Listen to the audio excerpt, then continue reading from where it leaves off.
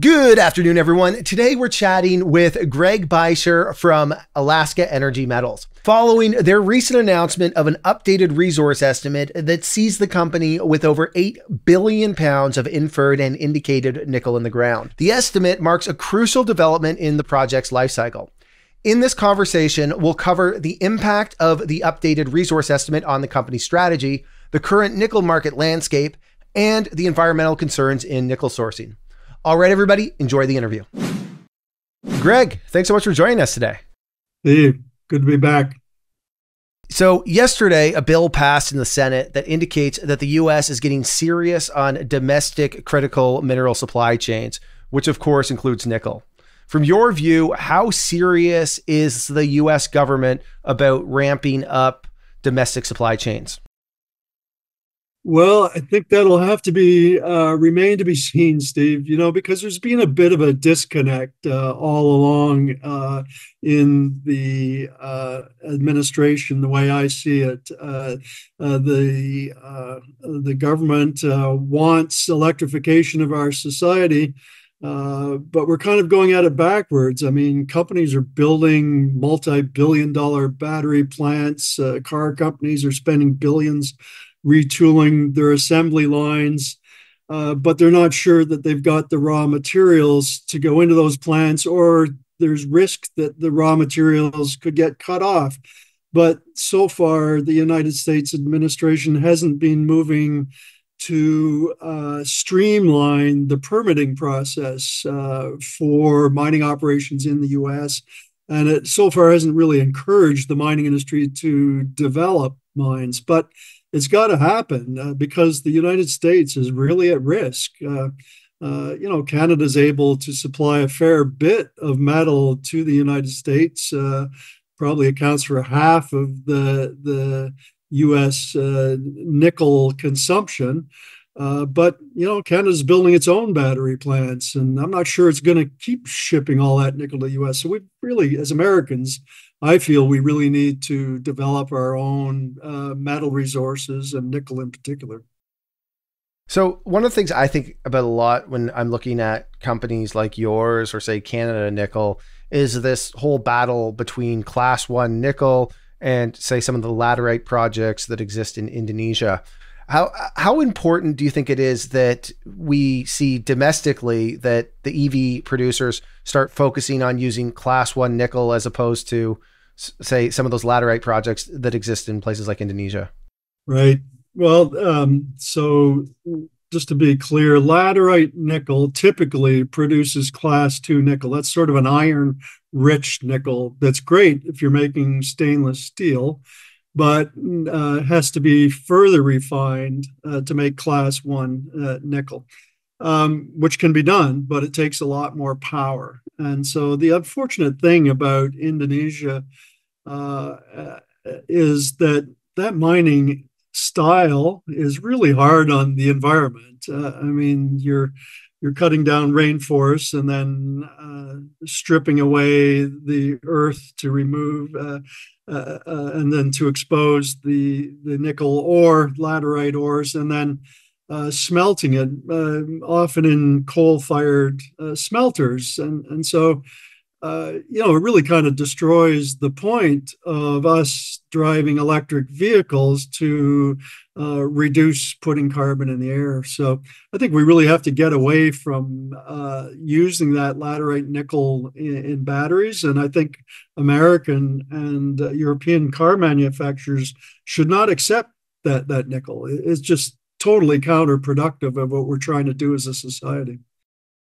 Okay, so let's talk about Alaska Energy Metals now. Um, just this week, you guys put out a pretty substantial mineral resource estimate. Can you detail the significance of your of of your updated resource estimate for the project? What it means for the company? Yeah, sure could. You know, we published our initial maiden resource in uh, November. Uh, it was pretty substantial in two separate deposits that were um, in the order of two and a half kilometers apart. Um, uh, it was over 1.5 billion pounds of, of nickel documented in the ground. Um, but uh, the drilling that we did last summer, uh, combined with some other historical drill holes that we were able to bring into the model, allowed us to join up between those two deposits to form a single deposit that's roughly four kilometers in length, 300 meters thick, uh, and contains in excess of 8 billion pounds of nickel. Uh, and so it was a five-fold increase in the amount of metal documented in the ground. But several other really uh, positive things came out of that. Uh, first is that uh, with just one pit, uh, we were able to reduce the strip ratio to a very reasonable 1.5 to 1. Uh, so that means that uh, we would only have to remove 1.5 ton of waste rock to get at the valuable rock. So that's that's good. The less waste rock you have to remove, the better. So that was positive. Uh, but also, uh, it turned out a, a, bunch of the drilling density, the spacing of the drill holes was close enough in places that ha- close to half the deposit uh, can be classified at the higher confidence level of indicated resource. So just over half is inferred resource, uh, and then half is, is that indicated. And it's better to move it up in, in terms of confidence level with closer spaced drilling. But finally, the main positive uh, outcome was that uh, we confirmed our suspicion that there's a high grade near surface uh, core to the deposit, or at least I should say higher grade. Uh, of a concentration of around 0.35% nickel equivalent. And that's really going to help uh, in the uh, economic analysis of the project. If you've got higher grade near surface mineralization that can uh, uh, be mined first and therefore pay back capital quicker, that positively affects economics every single time. So we're going to really work on on that going forward. So so how does the the the mineral resource estimate and I guess some of the drilling that you guys have done recently change sort of the strategy or the outlook for the company? Well, uh, already with over 8 billion pounds of, of nickel documented, um, that starts to move us up or closer to uh, our peer companies that have really good traction. And certainly by the end of this year, we should have a deposit that is comparable in size to the Crawford deposit of Canada Nickel uh, we'll will you have a slightly higher grade uh, right now than than that deposit, but uh, Canada Nickel is really blazing the trail for us. They're several years ahead. They've got a positive feasibility study on a 13 billion pound nickel uh, resource. Uh, we'll catch up to that. I'm hoping we catch up to their market cap, which is about 240 million dollars right now, whereas ours is maybe 33. Uh, but yeah, the guys are doing a great job there. They've brought in strategic investors. Uh, recently, Samsung invested to get the offtake uh, or part, part of the offtake from that deposit. Uh, Anglo American had already invested a year ago, and now Agnico Eagles put up big money uh, for Canada Nickel's operation. Great strategic partners, and uh, I would think that soon, uh, with this announcement, we'll uh, uh, uh, be talking to potential strategics also. Where's the disconnect, you think, Greg? Because like I, I, see some of the other nickel projects, like even FPX, they got a a, a huge investment from a, a, couple of notable groups. Um, yet we're we're not seeing as much sort of traction with some of the retail investors, I think, is uh, what you would think some of these institutional names would merit. Where do, do you have any idea of what the disconnect is? Is is is there just sort of a general idea that's out there that hey, nickel's maybe not going to be such a big part of the future of battery technology? Do you think it's it's it's high interest rates? Uh, why do you think it is that that we aren't seeing more capital flow into some of these names?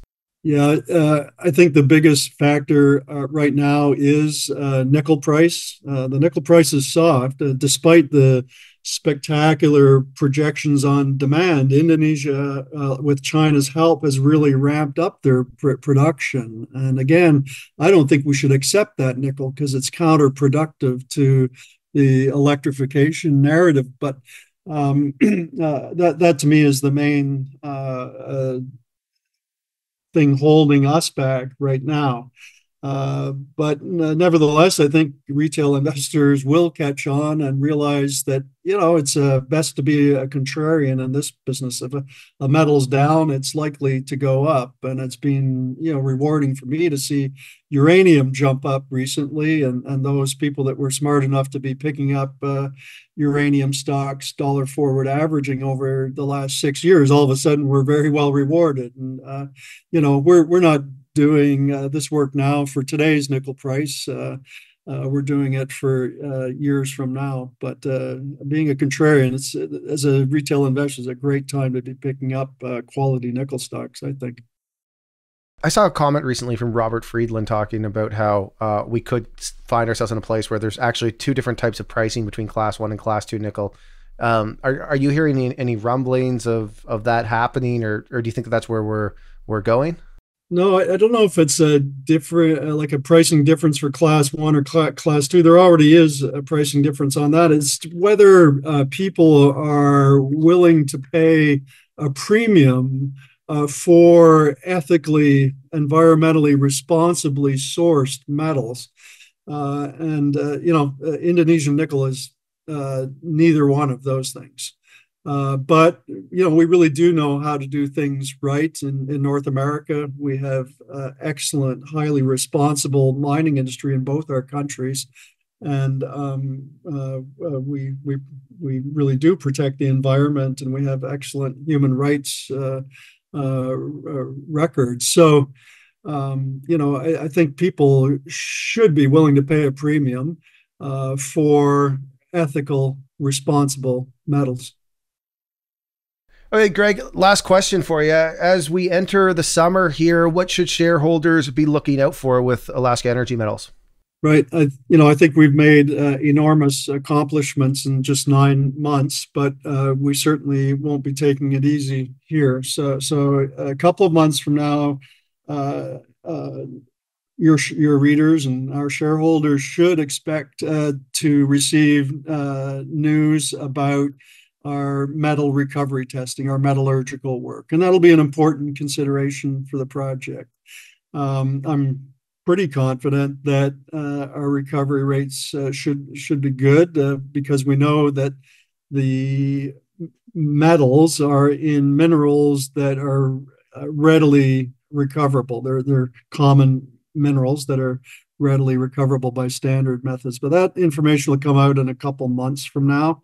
And then before you know it, we're going to be drilling again to uh, number one, extend the deposit, uh, to uh, focus on the high grade zone, to move that up to a higher confidence level of measured resource, uh, and then to do a bit of infill uh, drilling. Um, but the outcome should be at the end of the year, we've got uh, a deposit that's almost as big as Canada Nickel's deposit in the measured and indicated uh, categories. And, you know, it's, uh, I, am able to say that we've got this potential mineral deposit because of the historical drilling. It's sparse drilling, but uh, it's just an amazingly homogeneous and continuous deposit. Everywhere that anyone in the, the past or, or that we've drilled gets almost the same result. It's a, a, a, slab of mineralized rock that's roughly 300 meters thick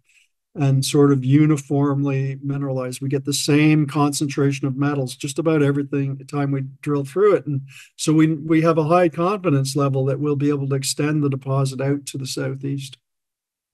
Are there currently any mills uh, in the area that you guys could maybe refurbish, or or would that be something you, that you'd kind of have to build brand new from oh. scratch? Um, let, let, let, let theoretically, if you guys were the ones to move this project forward. Yeah, and, and we can move this project a long ways forward, especially if we get some uh, strategic partners that can help with heavy lifting. But but ultimately, uh, uh, you know, we're starting from scratch here. We'd be building a, a mill on site, uh, processing facilities on site. So um, yeah, there there is uh, other mines in Alaska. There's uh, a couple of gold mines uh, further to the north up the highway, but the, there there is no nickel mines in Alaska. In fact, there's only one nickel mine in all of the United States, and it's a small, smallish one, and and uh, that nickel's exported to Canada for processing. So, uh, you know, the, uh, the America is 100% reliant on on imports right now of nickel, and I just think it would really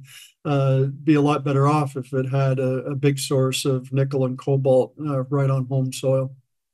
Absolutely.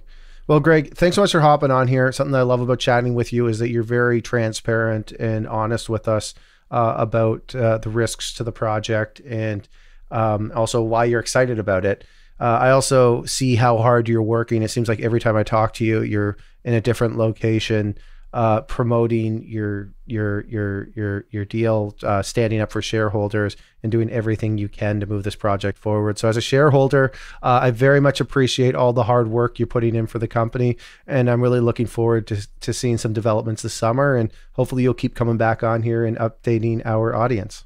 Well, thank you, Steve. the way I see it, we've got a chance of a, a lifetime here. It's well worth uh, the effort to get out and, and, tell potential shareholders about our company because we've got something serious here. Uh, uh, no uh, uh, prospect is without risk, but uh, I think the risk profile here is pretty darn good, and I'm, you know, working on this as hard as I can. Perfect. Thanks so much, Greg. All right. Thank you, Steve. Bye. All right, everybody. Thank you for watching. And if you enjoyed this interview, please smash that like button, subscribe, and ring that notification bell. Also, let me know what you think in the comment section. Thanks, everyone.